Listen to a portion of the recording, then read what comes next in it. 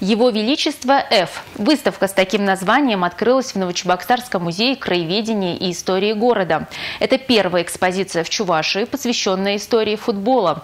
В преддверии чемпионата мира посетителям покажут и расскажут, какую форму носили футболисты раньше, что они надевали вместо бутс и как выглядел футбольный мяч в начале 20 века.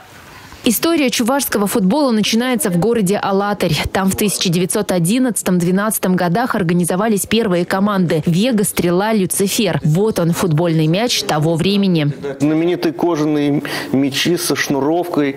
Для, для того, чтобы да, его накачать, шнуровку нужно было размотать, вытащить камеру, ее надуть, потом обратно вставить.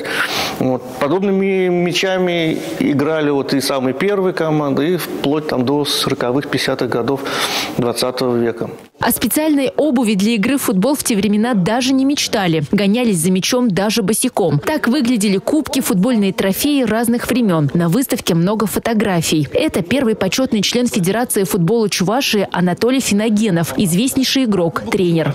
Футбол – это вся его жизнь. Он вложил душу в это долгое время. Играл за команду «Волга», потом за команду мастеров «Сталь», был тренером, потом опять перешел в Волгу и сейчас на тренерской работе воспитывает молодежь, подрастающую смену.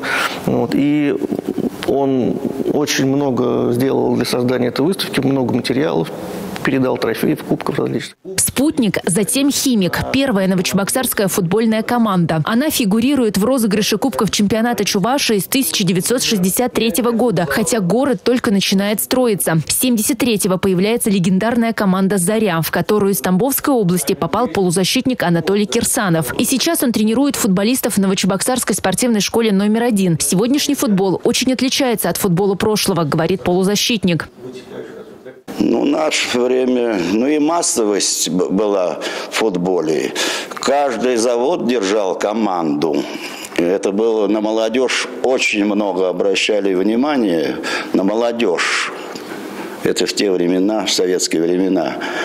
И каждый завод, вот у нас, я приехал в 76 году, здесь каждый завод имел команду на первенстве республики. Играло 14-16 команд. В музее даже подготовили стенд, где посетители смогут записывать результаты игр команд-участниц чемпионата мира по футболу FIFA 2018 с 14 июня.